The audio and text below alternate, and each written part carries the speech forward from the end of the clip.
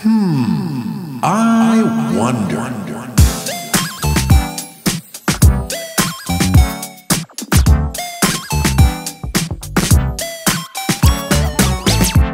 Hello, curious citizen science minds. Let's find out what's in the Wonder Bucket today.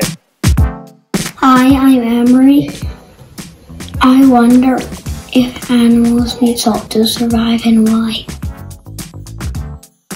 That's a great question, Emery. Thank you for asking that. And yes, animals do need salt to survive. Uh, we need it too. Uh, we need it for ourselves. So things like our bones need salt, and our muscles need salt for us to move and even our nerves. So the things that send messages from our brain to the rest of our body to be able to do things like move and digest food and all that very, very important stuff is through salt and the parts of it. So uh, the important thing is obviously where do we get that salt? And we get it, of course, from the food that we eat, as do all the other animals, right?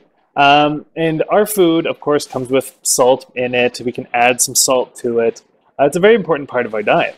And our digestive system takes out those parts and makes sure that they're going to the right places that need them. What about other animals? What do they? Well, some animals that live in the ocean, uh, where do you think they get their salt? I mean, it's uh, going to be literally in the salt water all around them. So, unfortunately, for those of us here in Calgary, not so much of an option. So, other animals have to find different ways of doing things. So, things like meat eaters, carnivores, they're going to get the salt in their diet from the meat that they eat, so from the other animals that they hunt. So animals around here like coyotes and badgers and bears, even though bears eat way more plants than they do meat, um, they get the salt that they need from the meat that they eat. But obviously, there's a lot of animals that aren't meat eaters. So what are they going to do? Well, some animals, like especially like farm animals, um, farmers will actually put out salt licks for them. So you may have heard of things like, you know, cows and horses and goats and sheep and so forth. They'll have like a little block in their um, enclosure, and uh, they'll use that and they'll go and lick it, and that's uh, how they get their salt for their diet. But wild animals a little bit different, right? So uh, they'll find whatever resources are available for them. So things like our bighorn sheeps that you would find in like the mountains. Um, those guys will even do things like go to rocks that are really salty and even go on the road when there's uh, salt that has been sprayed on it to make sure that you know ice melts and all that kind of stuff. So it's not uncommon to find things like bighorn sheep and elk and all those kind of things on the road licking up salt uh, because it's a very easy place for them to access it.